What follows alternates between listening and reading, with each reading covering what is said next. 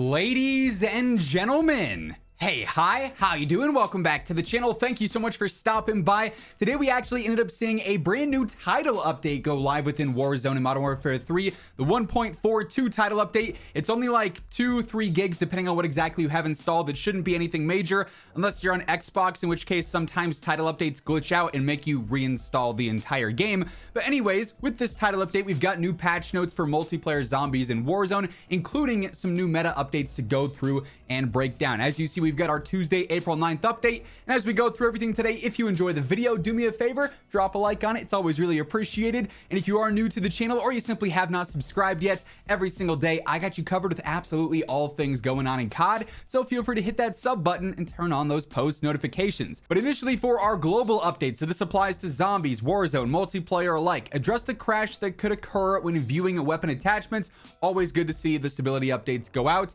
Uh, for customization, resolved various issues with quick equipping weapon charms in the store, corrected the display names of the season 3 prestige emblems. Nothing too crazy going on there. In settings they addressed an issue causing the latency telemetry widget to constantly display NA this has been bugged for several weeks now where we haven't been able to see our ping in game unless you turn on like the little monitor thing and then that's just more information blocking things on your screen. So now you can actually just see your ping up in the top left like it's been forever. It'll actually work as intended. Cross our fingers on that. We then get into some of the multiplayer specific updates and with UI and UX, quite a few bug fixes here. Armory unlock challenges will now display a splash upon completion. Operators will no longer appear to have two riot shields equipped in the lobby. Removing certain conversion kits is now properly reflected in the gunsmith. Weekly challenge countdown timer will no longer display an invalid time as the mid-season update approaches. Uh, corrected positioning of the FJX Horus in the gunsmith. Calling card and emblem rewards from the mastery completion are now displayed properly in the after action reports. Removing a weapon sticker in the gunsmith is no longer going to cause the placement indicators to disappear, and they revised the pro and con labels for multiple attachments to better reflect their true properties. For gameplay updates here, improved deprioritization of spawn locations while any kill streak is active and nearby, so you're not going to spawn right on top of a sentry gun or something like that, for instance. For progression, uh, the Ripper light stock on the FJX Horus will no longer appear locked and uh, without unlock requirements. Improved the tracking of one-shot kills for the What's Your Sign camo on the MORS Sniper.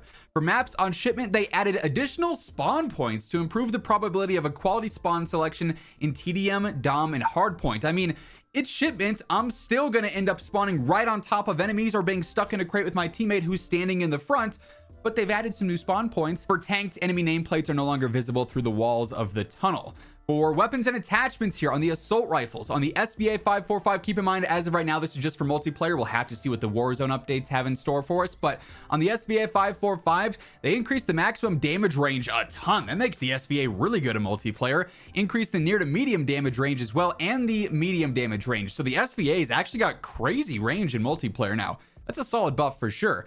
Uh, on SMGs, on the Horus, optic attachments with an integrated laser are no longer compatible with the uh, suppressor muzzle, so you just won't be able to pair those two together and like double up your lasers, I guess. On the TAC Evolver, removed duplicate ZEM 35 compensators showing up, so there were just two of them, now there's only one.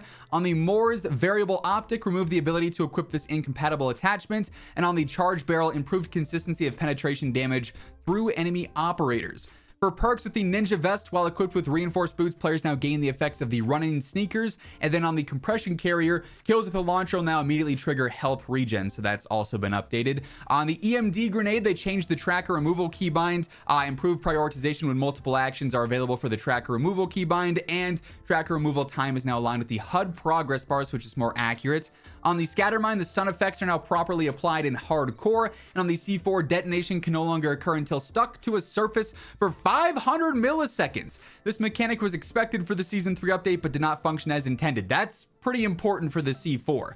Uh, then also for kill streaks, ledge hanging after equipping the Guardian will no longer cause the player to become uh, unable to fire. And then on the remote turret, attempting to deploy while swimming will no longer cause the player to uh, become unable to fire either. Now let's jump over to the Warzone patch notes. So we've also got our April 9th update here. And then uh, initially we've got an update for Rebirth Island Resurgence. Ground vehicles have been enabled on Rebirth Island, so you'll be able to actively use those.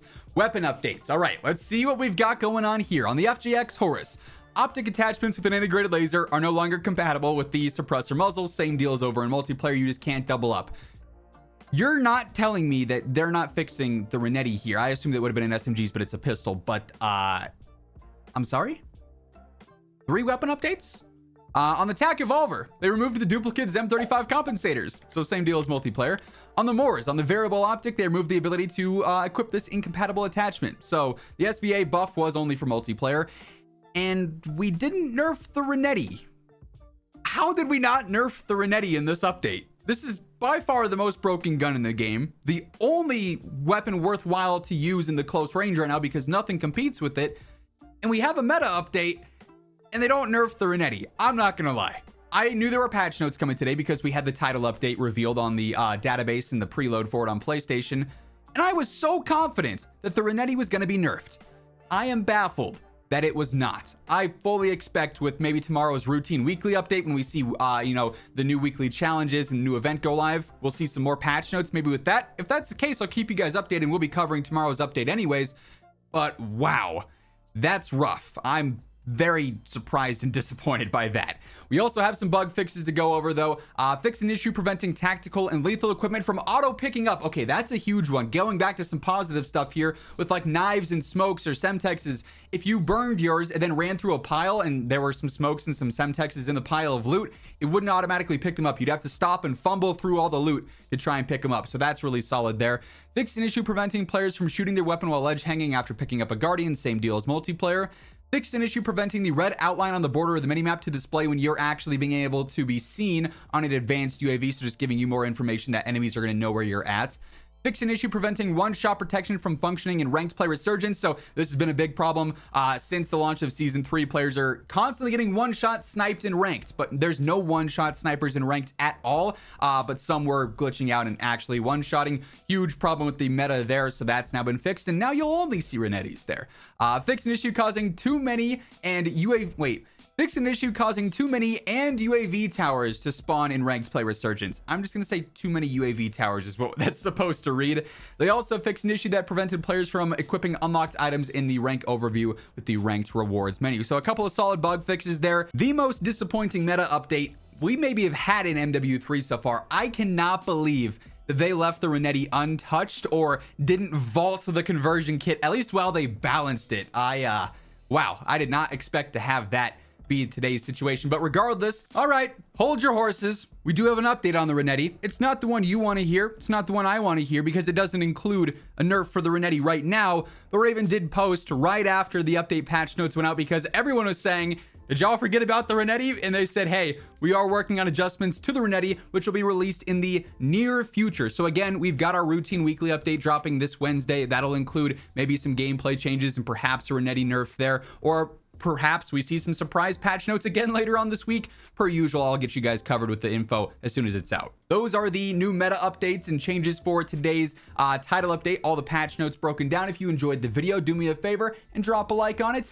And if you are new here or you simply have not subscribed yet, every day I got you covered with news, updates, patch notes, meta breakdowns. It's all right here, so feel free to hit that sub button and turn on those post notifications. But once again, thank you so much for tuning in. And until next time, take it easy, have an awesome rest of your day, and I'll catch you later. Peace out.